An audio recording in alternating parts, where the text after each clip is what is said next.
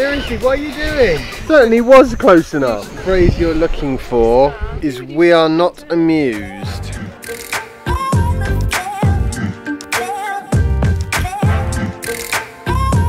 They can, he can override the steering, can't he? That's what I always found when Jasper had this thing. Look! Look, touch it! Not impressed. Boy, Dexter, good boy.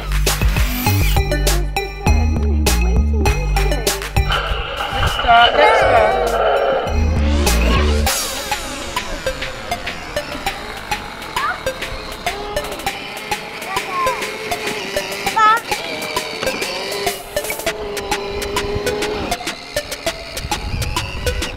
definitely got the hang of actually driving it now, hasn't he?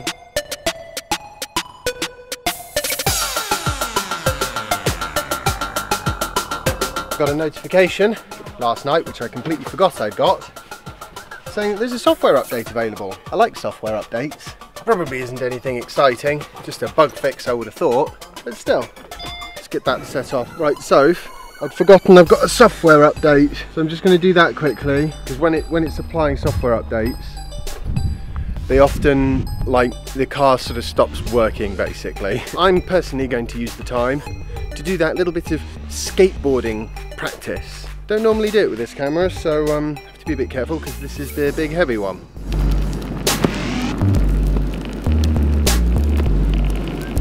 Getting my uh, boarding practice in, trying to get a bit more familiar with uh, this sort of thing. I like I like anything we have to balance.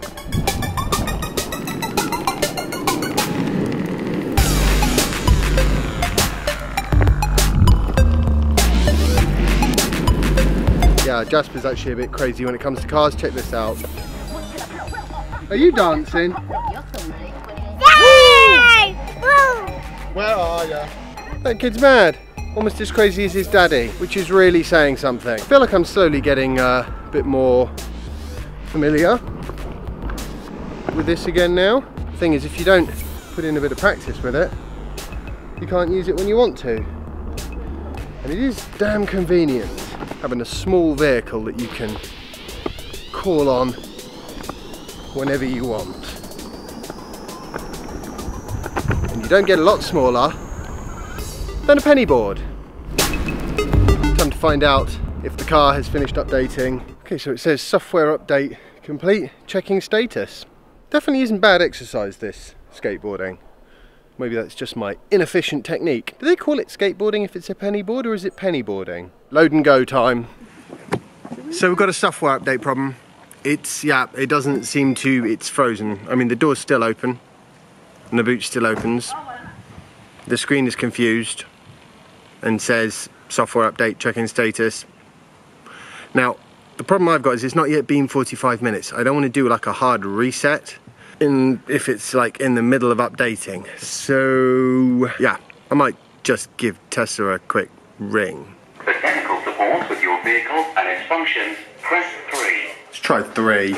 Hi, um, I just hit update on my Tesla um, a little while ago, and I've opened the door and it says um, installation complete, checking status, but everything's frozen and it won't sort of do anything else. Right. Okay, so the, the, the key point here is we wait. All right, thanks very much then. Cheers. Bye. It normally it normally doesn't take very long, but uh, I, I obviously should have allowed more time for it. The car has just finished updating, and basically all I needed to do was wait. So it's a good thing I didn't do a hard reset, which I was seriously considering doing. So there you go. When updating anything, always remember to wait. I did know that anyway, so that kind of saved us. I also shouldn't have set an update, an update off 10 seconds before we were going to be leaving. We are now ready to hit the road.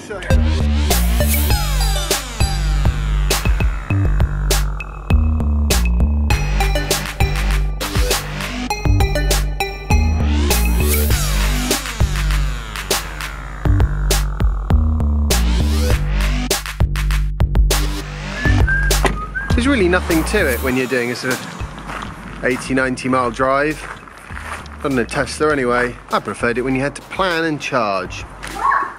Okay, so now once I've got the bags out the car, we'll have a look at my editing workflow.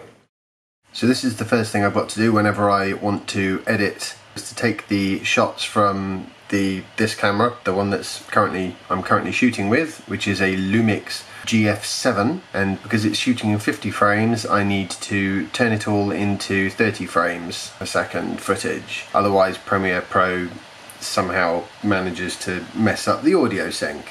This is step one. takes about 20 odd minutes but on the upside I don't actually have to be here whilst it's doing that I can go and have a cup of coffee. Okay so now this is done go into Premiere Pro, open the project, hit Command I for import, then I select the resources that I want to import into the project. Okay, so the first thing I do is I take a clip from my Canon 70D, drop it in here, which creates the initial timeline for me, uh, though I'm actually not going to keep that in there because on this particular one, as luck would have it, I didn't actually use the 70D at all. So just make sure this is all organised by name, select them all, drag them over here, get rid of that, close that gap. And at the end of this, I'll drop in the stuff that came from my Hero 4 session, which tends to be all the sort of time-lapsey stuff as I'm driving along. Okay, so now I've got all my footage like this. Uh, all this footage. I want the whole lot to be sped up, so first thing to do is cut these down to good time-lapse sort of length, frame blending, ripple edit so it closes down the gaps. And there we go. What I do next is I do the colour grading, if you like. So to try and make these two shots seem similar to each other and similar to all the other cameras, what I do is I put in an adjustment layer. New adjustment layer. Okay. And then I drag that over there. I stretch it out until it covers the whole lot. Let's put the colours on, put the uh, basic colour correction on this. I put that four, increase the contrast, pump up the colorization a bit, try and get rid of some of the windscreen effect that's going on otherwise. And then I do this one. This one needs a lot less color and less contrast, but I do like to add a bit. Here we go. Okay, awesome. Now, you see how it's red along the top here? The reason it's red there is because what it's saying is that the computer is not fast enough to play this footage with these effects in real time. So what we want to do is render previews on all of this footage. the other thing I want to do just to sort of keep myself organized is change the colors on some of this stuff. So I'll change that to Caribbean, which is what I normally use for uh, anything that I've sped up. I'll change the colour on this to cerulean, the colour that I usually use for the Lumix footage. So there's two ways to start the pre-rendering process. I can either go to sequence and render into uh, render effects in out, which will basically render anything which has got a red bar along the top here, which is everything in this case. Or what I can do is just press return. And as you'll see, it's going to take a fair old amount of time. So that's my cue to do some family time. And then I'll come back. This will have finished its preview rendering and then I will be able to watch all the footage nice and smoothly.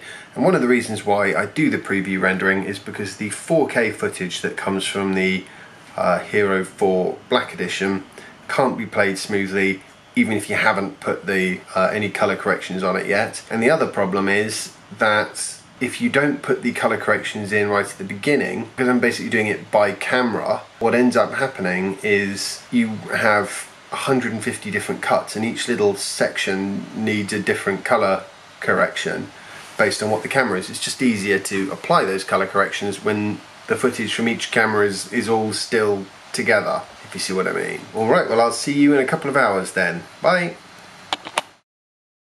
Okay, So I have no actual idea how this is going to work, but I'm going to give it a go anyway. I've got the screen recording thingy. Basically, the idea now is I run through all the footage and I cut out the bits I obviously don't want, whilst at the same time taking the footage from the various different sources and lining it up in chronological order in this sequence. So let's do that.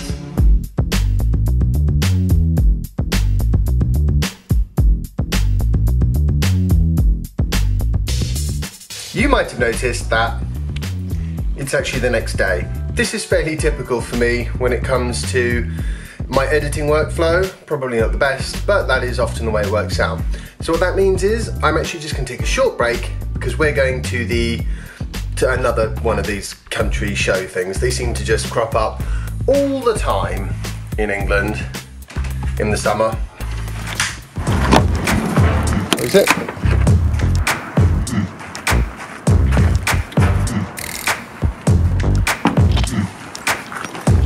Definitely a bit late.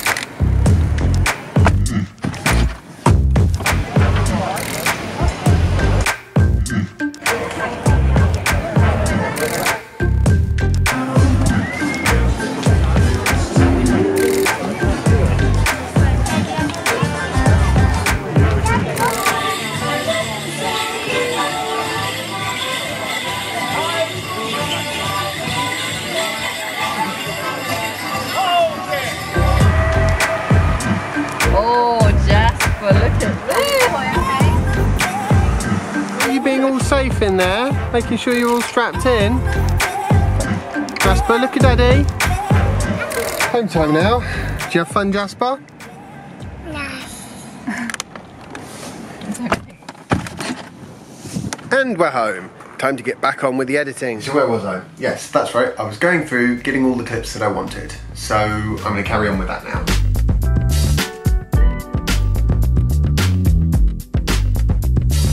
Few bits of footage I took while I was skateboarding where I just need to rotate that 180 degrees, which means I need to redo the previewing. That's my first pass where I cut out all the stuff I definitely don't want. Then I go through again and I make sure that it's going to tell the right story and I get rid of any duplication in what I'm saying, any bits that I don't need. I pick the best shots from things like when I was on the skateboard or waiting in the queue at McDonald's or whatever. By doing that, hopefully I wind up with a sort of a 10 minute or so reasonably watchable video. Then I run through it for a third time and I just trim all the fat out of it, all the bits that I don't think really contribute anything, they're gone. And then we put the music on. We'll get to that in a minute. We're gonna wait for this to render first.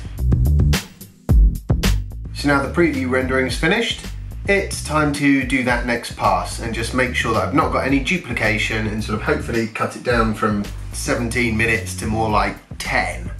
Something I just forgot to mention, as I go through, I do mark in different colors certain sections of the sequence. So, you know, I tend to mark the red bits will be my sort of outro, if you like. And that way I know if I've got lots of those, it's a problem. And, you know, bits that need special attention still, I'll mark as orange and things that are time lapse or sped up footage, I tend to mark in a sort of Caribbean green and then I'll sort of you know try and mark different scenes which have a series of uh, clips within them. I'll try and mark those all in, in one colour each scene so that you can just sort of get a feel for how it's moving along. And there we go, it's down to 10 minutes now so I've got the vast majority of the editing done. Now it's just a case of getting some music and putting the cuts in the right places so that they sort of fit with the music. Go through and I just make sure that, you know, when you've got a beat or, you know, this, is the music fits with where the cut points are. And also I need to sort of dip the volume down if I'm speaking so we don't have sort of just music clashing with voice too much. Right, I think I should just explain a little bit of what's going on here. So when it comes to putting in the music, I've added it into this track at the bottom here, as you can see. And I don't want music in this bit, but do in this bit. So this line here tells you sort of what volume. I've adjusted the audio of the music so that it more or less is sort of a, a comfortable volume versus the voice.